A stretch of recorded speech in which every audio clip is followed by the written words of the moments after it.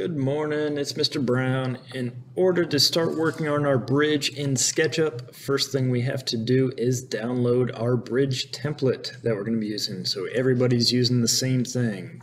So in our folder on Schoology, whatever bridge week it is, week 29, whatever week we're in right now, you should see an, a, a file called bridge template spring 2021.skp. So .skp is a SketchUp file.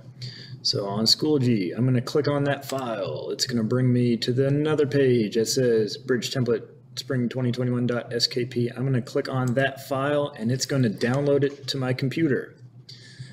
Now I need to open this up in SketchUp for Schools. So first thing I'm going to do is I'm going to put it on my Google Drive. So I'm going to go to my Google Drive. I'm going to find my SketchUp folder right here.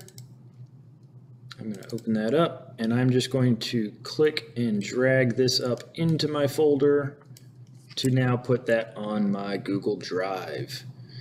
So that should take a couple of seconds. Now my bridge template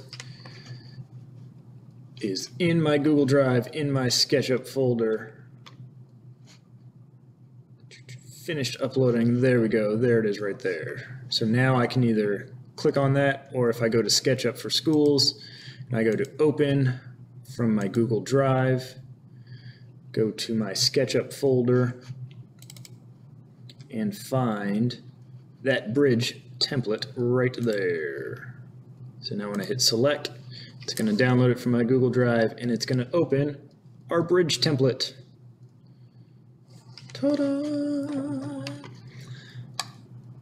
So now you can work around with this.